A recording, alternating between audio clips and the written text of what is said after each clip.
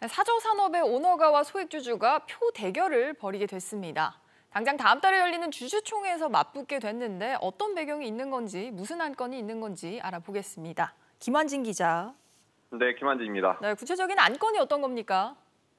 네, 회장인 주진우 이사 해임, 사회이사 신규 선임과 해임, 그리고 정관 일부 변경 등입니다.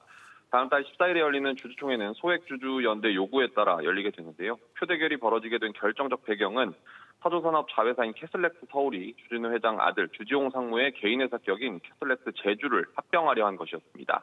소액주주연대는 완전 자본 잠식에 빠진 캐슬렉스 제주의 손실을 사조산업에 떠넘기려 한다며 강하게 반발했습니다.